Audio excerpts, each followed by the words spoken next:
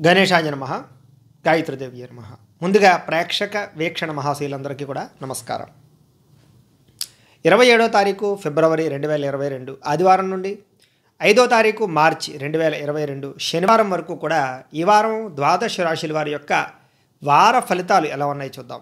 మకర రాశి వారి యొక్క ఫలితాలు. మకర రాశి వారు కొంచెం స్నేహితులతో జాగ్రత్త వ్యసన పొరలతో జాగ్రత్త. అప్పులు పాలయ్యే అవకాశాలు కనపడుతూ ఉన్నాయి రుణాలు పెరిగే అవకాశాలు కనపడుతున్నాయి. మీ మీద ఈర్ష్య ద్వేషం పెంచుకుని మిమ్మల్ని కొంచెం నష్టపరిచే అవకాశాలు కనపడుతున్నాయి. కోపతాపాల వల్ల కుటుంబ సభ్యులతో వివాదాలు ప్రేమించిన వ్యక్తులను దూరం చేసుకునే అవకాశాలు సమయస్ఫూర్తిగా మాట్లాడక గొడవలు మిమ్మల్ని అభిమానించే వారి మీద కోపము ఇతరులతో కొంచెం బాగా ఎక్కువగా గొడవలు వచ్చే అవకాశాలు కనపడుతున్నాయి. మాట జారడం వల్ల కానీ మాట తోలడం వల్ల కానీ సమస్యలు అనవసరమైన విషయాల్లో తలదూర్చి ఎక్కువగా గొడవలు పడే అవకాశాలు కుటుంబంలో మనశ్శాంతి లేకపోవడము డబ్బులు వృధాగా ఖర్చవడము అనారోగ్య సమస్యలు చిన్న చిన్న వాహన ప్రమాదాలు కనపడుతున్నాయి.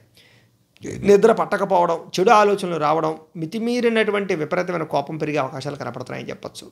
అనవసరమైన ఆలోచనలు కొంతమంది స్త్రీ పురుషులు సంగమాలు లేదా పరపురుష పరస్త్రీ వ్యామోహాలు బాగా కనపడుతున్నాయి.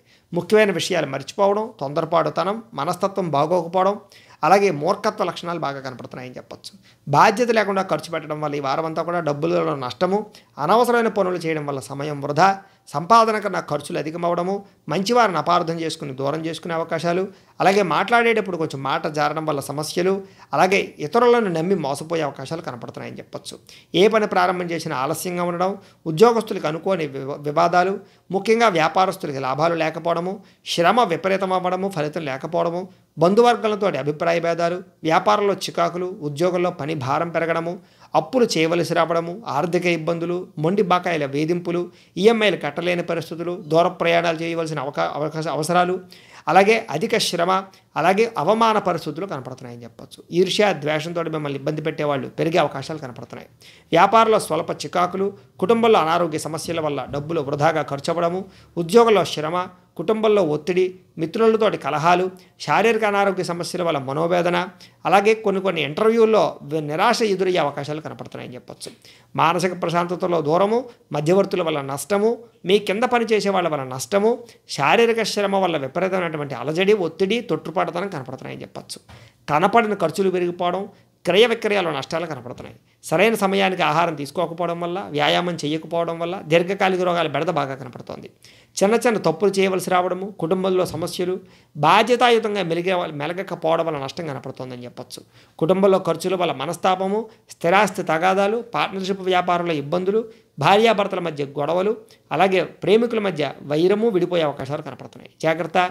వాహన ప్రమాదాలు కూడా ఉన్నాయి. చాలా జాగ్రత్త. విద్యార్థిని విద్యార్థులకి చదువు పట్ల ఇష్టం తగ్గడము అనవసరమైన స్నేహితులతో పరిచయాలు బైక్స్ మీద వాటి మీద తిరిగి దెబ్బలు తగిలించుకోవడాలు ప్రేమ వ్యవహారాల్లో పడి చదువు పాటు చేసుకునే అవకాశాలు స్నేహితుల వల్ల ఇబ్బందులు కనపడుతున్నాయి. చాలా జాగ్రత్తగా ఉండాలి ఈ వారం. ఉద్యోగస్తులకు కూడా అనుకోని ఇబ్బ అనుకోని ఇబ్బందులు అలాగే పై అధికారుల ఒత్తిడి తోటి ఉద్యోగస్తులతో సమస్యలు ఉద్యోగ కార్యాలయాల్లో చిన్న చిన్న రిస్కులు కనపడుతున్నాయి. ఐటీ ప్రాబ్లమ్స్ కూడా కనపడుతున్నాయి కాబట్టి తత్తు జాగ్రత్తలు తీసుకోవాలి. స్త్రీలందరికీ కూడా అధిక శ్రమ శారీరక అనారోగ్య సమస్యలు నడునొప్పులు వచ్చే అవకాశాలు మానసిక ప్రశాంతత లేకపోవడము ప్రేమించిన వ్యక్తులు దూరమయ్యే అవకాశాలు ఇరుగు పొరుగు వారితోటి అవమానపు పరిస్థితులు కనపడుతున్నాయి. పొరుగు ప పురుషులు నమ్మేటప్పుడు కానీ పొరుగు వ్యక్తులు నమ్మేటప్పుడు కానీ జాగ్రత్త తీసుకోవాలి. వ్యాపారస్తులందరికీ కూడా వ్యాపారంలో స్వల్ప నష్టాలు సామాన్య లాభాలే కనపడుతున్నాయి. వ్యాపారస్తులకు నిరుత్సాహము వ్యాపారంలో వడ్డీపరమైనటువంటి వ్యాపారస్తులకి నష్టాలు అలాగే అప్పుల బాధలు అలాగే మొండి బాకాయిల వేధింపులు కనపడుతున్నాయి. ఈ వారం అంతా కూడా వ్యాపారస్తులు చాలా ఇబ్బందులు పడే అవకాశాలు కనపడుతూ ఉన్నాయి కాబట్టి చాలా జాగ్రత్తగా వ్యవహరించవలసిన అవసరం కనపడుతోంది. ఈ రాశివారు రుణ విమోచన గణేష స్తోత్రాన్ని పారాయణ చేసుకుని రోజు గణపతాలయానికి వెళ్ళి దర్శనం చేసుకుంటూ ఉన్నట్లయితే కనుక ఈ వారం అంతా కూడా మీకు శుభప్రదంగా ఉంటుంది అని తెలియజేస్తూ అయితే ప్రేక్షకులకి ముఖ్యంగా మనకి ఏమిటయ్యా అంటే కనుక ఇప్పటిదాకా మేము చెప్పినటువంటి ఈ ఫలితాలన్నీ కూడా గోచార ఫలితాలు. అంటే ఈ రాశిలో ఉండేటటువంటి కోటాను కోట్ల మంది అందరికీ వర్తిస్తాయి. కాబట్టి ఆ రకంగా వినే ప్రయత్నాన్ని చేయండి. ఒకవేళ మీ పర్సనల్ జాతకం అంటే మీకు ఒక్కరికి ఎలా ఉందో తెలుసుకోవాలి అన్నా లేదా ఏదైనా సమస్యతో ఇబ్బంది పడుతూ ఉన్నా మీ date of birth time place of birth మీ పేరు మా వాట్సాప్ నెంబర్కి మెసేజ్ పెట్టినట్లయితే మీ పర్సనల్ జాతకం. అంటే మీకు ఒక్కరికి ఎలా ఉందో చూసి చెప్పే ప్రయత్నాన్ని చేస్తాము. లేదా ఏదైనా సమస్యతో ఇబ్బంది పడుతూ ఉంటే కనుక దానికి పరిహారాన్ని చెప్పడం కానీ లేదా పరిహారాన్ని చేయించడం కానీ చేసే ప్రయత్నం కూడా చేస్తాము అని తెలియజేస్తూ ఈ వీడియో కనుక మీకు నచ్చినట్లయితే లైక్ చేయండి అందరికీ షేర్ చేయండి. ఇంకా ఎవరైనా ఈ ఛానల్ కనుక సబ్స్క్రైబ్ చేసుకోకుండా ఉన్నట్లయితే కనుక కాస్త సబ్స్క్రైబ్ కూడా చేసుకోవాల్సిందిగా మనస్ఫూర్తిగా ఆశిస్తూ గోబ్రాహ్మణేభ్య శుభమస్తు నిత్యం లోకా సమస్త సుఖినో భవంతు. స్వస్తి. ప్రేక్షకులకి జాతక గోచార సమస్యలు పూజలు పరిహారాలకి సంబంధించి చిన్న మనవి. సమస్య లేని మానవుడు ఉండడు. సాక్షాత్తు భగవంతుడే మానవ అవతారం ఎత్తినా ఏదో రకమైనటువంటి సమస్య వస్తుంది. ఇక్కడ సమస్య రెండు రకాలు. ఒకటి మన శరీరానికి వచ్చే అనారోగ్య సమస్యలు. వీటికి మనం టెస్టింగ్లు స్కానింగ్లు రక్త పరీక్షలు చేయించుకుని మందేంటో తెలుసుకుని వైద్యం చేసుకుని నయం చేసుకుంటాం.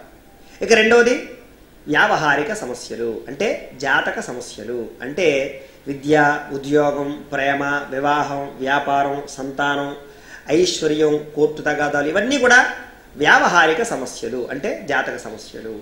మరి వీటికి పరిష్కారం ఎలా?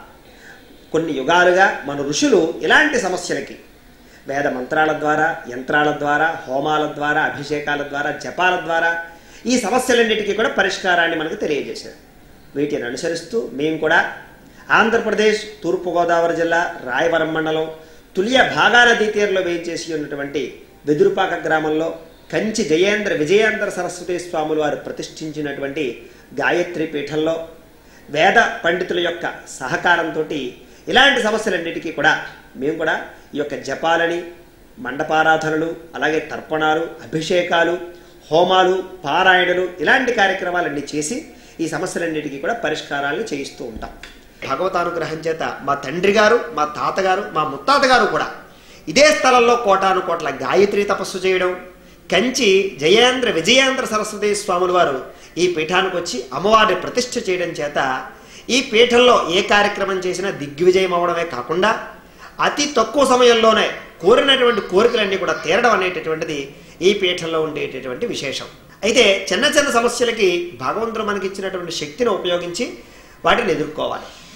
అయినా సరే తీరని ఏదైనా పెద్ద పెద్ద సమస్యలు ఉంటే మాత్రమే మాలాంటి వాళ్ళకి ఫోన్ చేసి ఇలాంటి పూజలు పరిహారాలు చేయించుకోవాలని తెలియజేస్తూ స్వస్తి. మేము పెట్టే వీడియోలు ప్రతిరోజు మీరు పొందడానికి సబ్స్క్రైబ్ బటన్ను క్లిక్ చేయండి. అదేవిధంగా పక్కన ఉన్న బెల్ ఐకాన్ను క్లిక్ చేయడం ద్వారా మీరు నోటిఫికేషన్ కూడా పొందవచ్చు.